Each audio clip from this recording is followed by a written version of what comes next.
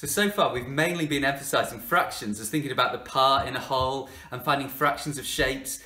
But fractions have got another use as well, which is as counting numbers. So like I could count up in numbers, 1, 2, 3, 4, 5, and then you might learn to count up in fives, 5, 10, 15, 20. I can count up in fractions as well, so half, one, one and a half, two, or in quarters and so on. Um, and that's based on being able to position fractions on a number line. We're going to focus on that skill, um, and I'm going to show some very personal memories, uh, very special memories as well. Um, so it's going to be really important for really having a deep understanding of fractions in all their different forms. So let's have a look at one of yesterday's questions. It said, for each pair of shapes, what is the same and what is different? So have a look at those ones. What's the same and what's different for each pair? Um, remind yourself what you said, or you might want to have a go if you didn't come to this yesterday. Uh, pause the video. Okay, let's have a little look. Well, uh, the example on the top left, the blue parts there, we've got a quarter and another quarter there, so we've got a half in total. Um, there's the same amount that's blue than is white. And on here, there's also the same amount of blue as is white. Um, can you see we've got this one and this one and they are identical, but this time we have this quarter here and this quarter here. So different shape, but the same fraction. Now here, we've got the same part that's yellow. This part and this part are the same. It's just that the, the thing that's different here is the whole is is bigger. So actually that means that this fraction um, yellow is is uh, is larger on this shape because the part is smaller. Uh, whereas this time the fraction that's yellow is smaller because the whole is larger. Um, and on the bottom example, what's the same and what's different? Well, again, um, this time I've got the same size parts. I've also actually got the same size whole. It's just that the part is in a different place. Um, but it's easy to see with the or easy to see with the purple one on the left that it's a half but it's also this is a half of this um, rectangle that is purple here as well I also wanted to have a look at another task from yesterday. So one of the tasks you were asked to split shapes into a half, which ones are half blue, third blue and a quarter blue. And these ones are all a half. But how can we tell that they're half? Have a look at the lines that I've drawn on that help me to see that each one is half blue. So there, I've split this shape into equal uh, triangles now, and I can see that I've got two that are blue and two that are white. E equal rectangles that I can see two are white and two are blue. And here I've got equal triangles, and I've got four that are white and four that are blue. Um, these two shapes are a third. How can I tell? Um, well, have a look at how I've added another line on there on this shape here, so I can see that that is a, a, a part. And how many parts of this size do I have? Three. And can you see how this space is the same as these two spaces combined? If I kind of moved one of these, um, so, so let's say I could move this one down and I could see that that would then be one of three longer rectangles if I put them together. I could call that 2 sixths or I could call it one third. And all of these are actually a quarter. But again, quite challenging to see that they are a quarter. A little bit easier if I put these lines on so I can now see that this part, well, four of that part fits in the whole, just like this example here. Um, and again, I've got two out of eight, eight triangles here. If I moved, uh, for example, this triangle and filled in this part here, you could see it would actually be the same as this one here. Now, what about this top right one? How on earth would I know that that one's a quarter? Well, if we know that those two are the same size parts, and they're in the same size whole, the same size square, then it must also be a quarter.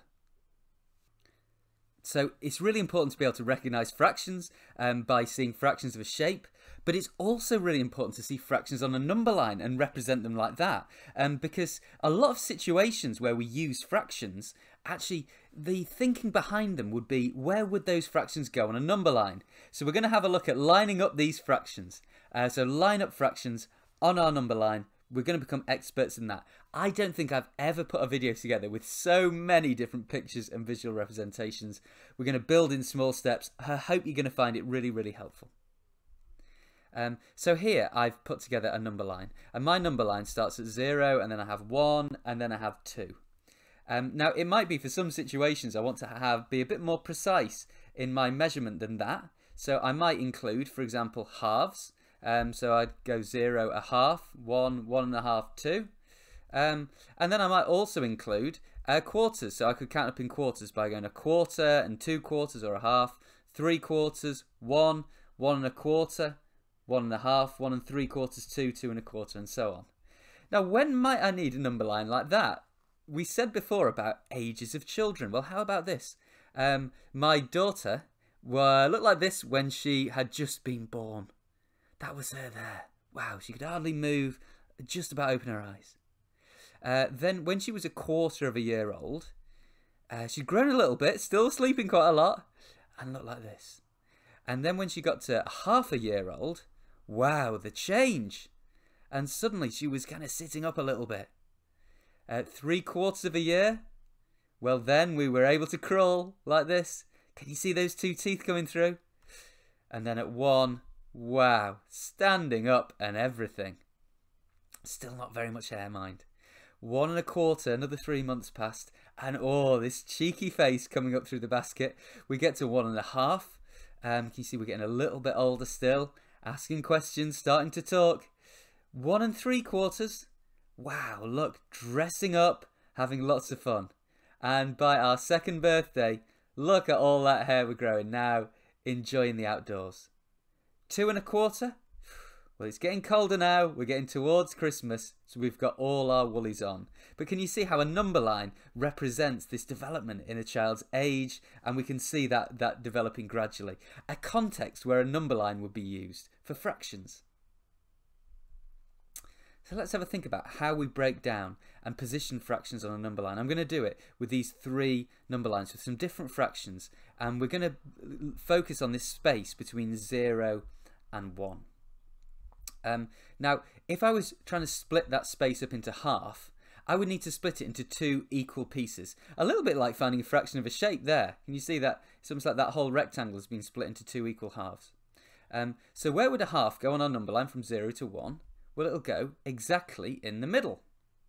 Um, now, what about if I was splitting our number line up into thirds, into three pieces? Um, so how can I mark that on the number line? Well, I'll have one third is here, and then another third, so two thirds, would be would be here. Can you see that each third is less than each half? Because a half, I'm only splitting this line up into two pieces. A third, I'm splitting the line into three pieces. Well, what about quarters? There, I, have split that space into quarters. So I'll have one quarter, two quarters, which is the same as a half there. Can you see how that's the same space as a half, these two quarters? Three quarters and one. Um, and so that's where all those fractions will be positioned on those number lines. Can you see a half is more than a third and a third is more than a quarter? Okay, so I've got a question for you based on that. Correct or not correct for these three examples? Uh, pause the video, have a look, see what you think. Okay, let's have a look. Um, well, the first example, this is not correct. You might think, oh look, the 2 is the smallest number, that goes first, then the 4, and then and then 3 quarters. But that's not true, because actually the, the half should be halfway here.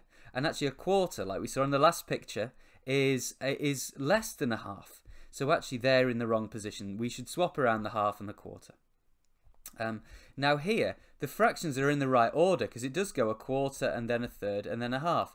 But this one's incorrect because again, can you see that half is not in the middle? It's not halfway. So actually all the fractions should be further to the left. And, and this is actually where a half is because a half is right in the middle. Whereas this one's correct here. Can you see we've got a half in the middle and then a quarter is one, two, three, four. It's one quarter of the way along and that is three quarters of the right way along. So the bottom one is correct. Now let's have a look at another ways that number lines can be broken up. Um, we'll start with a more straightforward one, 0 to 4. If I split that into four equal pieces, then I have steps of 1. 1, 2, 3, 4. And of course my number line looks like this. Well, what about if I split 0 to 2 up into four equal pieces? Uh, this time, I'd be going up in steps of a half. And I would have a half, and then one, and then one and a half, and then two. And if I'm splitting up my 0 to 1 in four pieces, well, of course, just like before, we'll split them into quarters. And it would go a quarter, two quarters, three quarters, and 1. So let's have a look at those different number lines. We go one, two, three, four. A half is halfway between 1, and halfway between 1 and 2 is one and a half. Um, and then we've got this number line going up in quarters. Okay, so how about this question, or, or, these questions I should say here, which answer is correct? Now notice the last one isn't a 0 to 1, but is a 0 to 2 uh, number line. Pause the video and have a go at this one. Okay, let's have a look. I could see why children think that this one is a third, because they could go one, two, three. But actually, that's not what a third means. A third means splitting up this, this distance into three equal parts. Here, it's split into one, two, three, four parts. And we are one, two, three of those parts the way along. So three quarters here is correct. Now this one, a quarter or a half, well, it's actually a quarter um, because I'm one, even though there's two sections here, they're not equal sections. And so it's one quarter, two quarters, three quarters, four quarters. So this one is a quarter. Now here, again, you might think, well, it's four pieces, so this must be a quarter. But of course, halfway between 0 and 2 is 1. 1 is here, so this is 0 to 1. And so this one actually is a half. Okay, so let's have a look at this one here. So write the number or fraction at each arrow. Pause the video and have a go at this one. Okay, and when you're ready, let's have a look. So this first one, we've got these three boxes, but we've got one, two, three, four steps. So we go a quarter and a half or two quarters, and then three quarters and one. And the next one, we have a half and one, and one and a half and two. So we're splitting this this gap from 0 to 2 into four equal pieces. And what about this last one? Well, this is a half. And what is a half of a half? It's actually a quarter. And if this is a half, then another half gets me to 1. But then I've got to think, well, how big is this space here? So this is a space of 1. This is a space of a quarter. This is a space of a half. How big is that space? Well, it's actually another a half. So we get from 1 to one and a half. Now, let's have a look at the position of 1 on each number line. Now, if you think you know where 1 is, just see if you can point uh, towards the screen. Where do you think you will find 1? And then what do you think we might notice on this example here? So pause the video and have a little go at this one.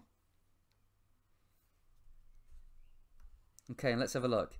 Well, half, it'll be another equal half space along, so 1 would be about there. Whereas a quarter, if that's where a quarter is in this number line, then I'd need to go two quarters, three quarters, so I think four quarters or one would be about here. And what about a fifth? So this time I'd need to have five jumps of that size. And so my one on that number line would be around about there. Now what do we notice? Well, when the fraction is a half, that, that is one of the two pieces. The position of one is further to the left. And if that's a fifth, I've got five more jumps to get to one. Um, so as the denominator gets larger, one goes further to the right on uh, on my number line. So for today's task, click on the blue link underneath the video, um, and it is a task A and a task B. So uh, part A, task A, it's filling in uh, which fractions go in those boxes, and then position one on this number line here. Um, so for task B, we have that same first question, and then we're positioning half and a quarter on these number lines here. Um, the answers are at the bottom as normal. Um, I think today's been really, really valuable. It will be really helpful for you. We're going to build on that to order and compare fractions tomorrow. I will see you back for then.